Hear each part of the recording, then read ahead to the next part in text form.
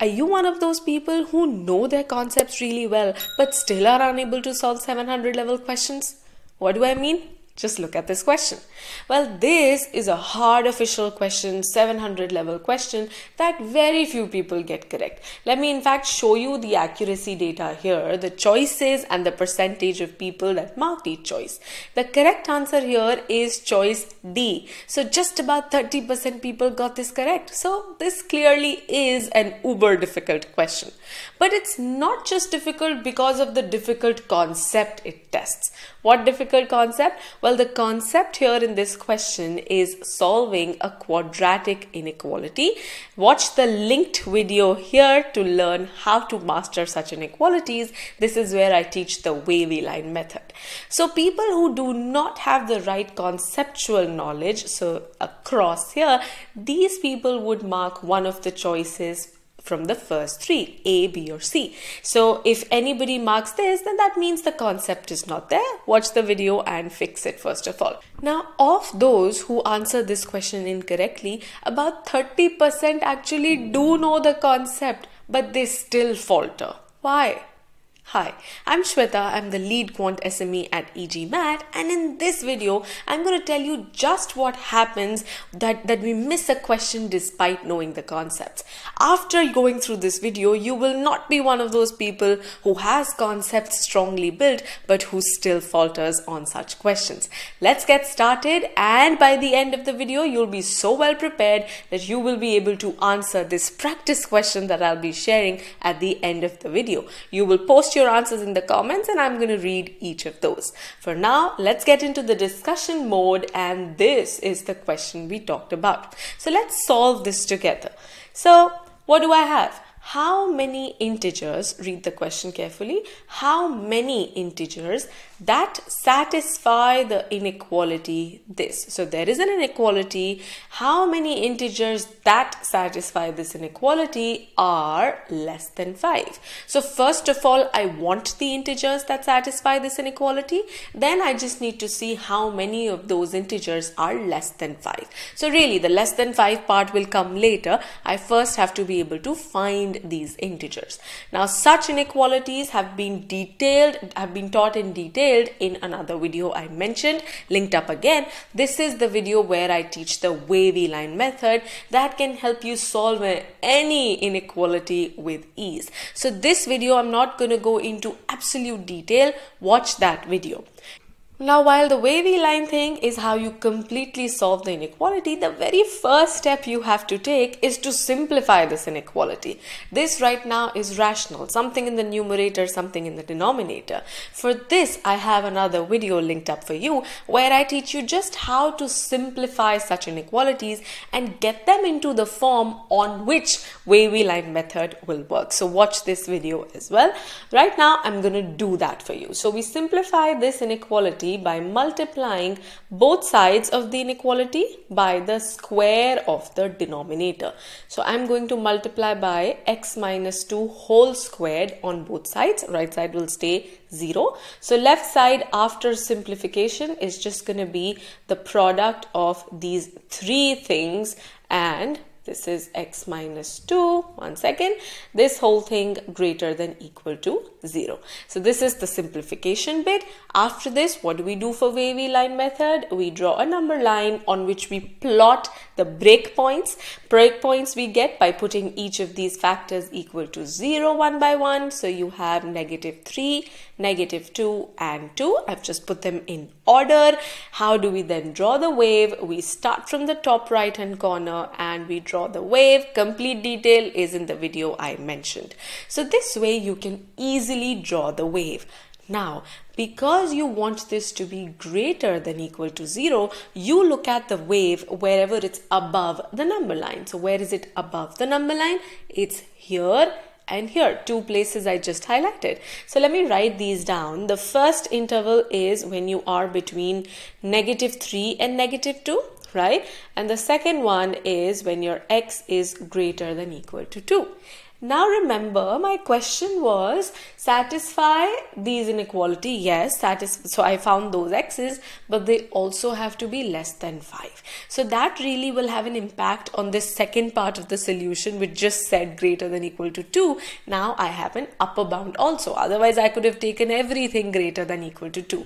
So I will actually reduce this the first range does not get impacted. These are anyway less than 5.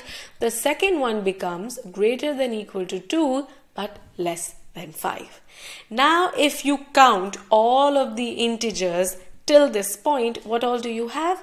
You will have negative 3 and negative 2 from the first range.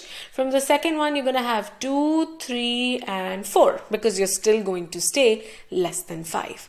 So then if I count all of these, how many integers do I have? I have 5 integers. So 5 is the correct answer? No. That is the trap choice. That is what I said. 30% of all people who get this wrong mark this. And all of these people did everything till here perfectly well. That's why I said these are people who do know the concept, but they still falter. Why do they falter now is what we need to understand. Before we move on, tell me how are you enjoying the video so far? If you're enjoying it, hit the like button.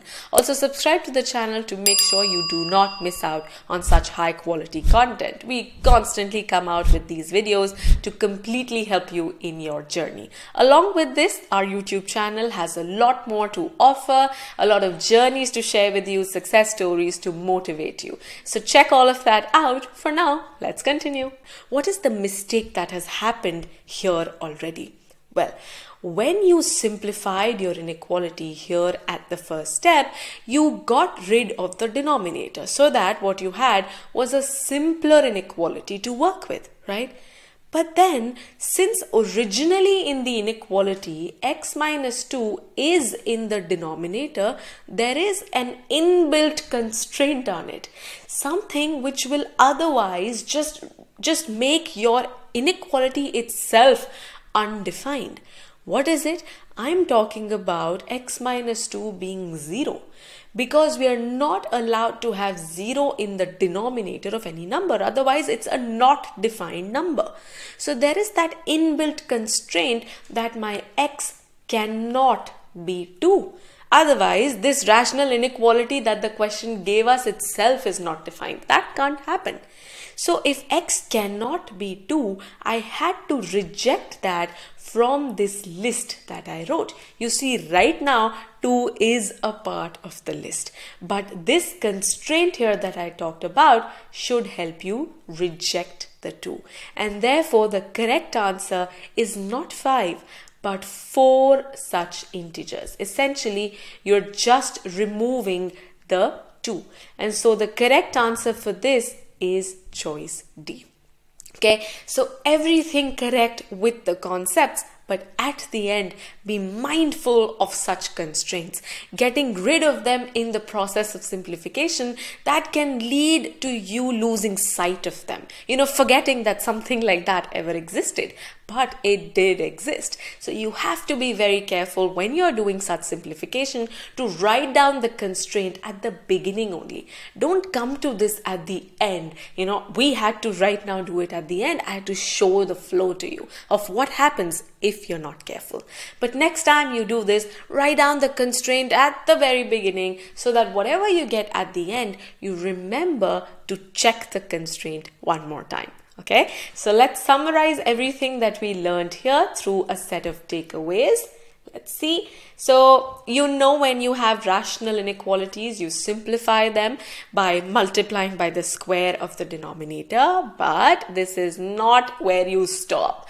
Don't just stop after the simplification. Make sure that you write down the constraint that is imposed by this, by this denominator that you just so easily multiplied, by this denominator not being zero. So, there always will be a constraint coming by this little fact here. Okay, so keep all of these things in mind. Watch the videos I talked about to build the concepts first, then do the practice question that I have here for you.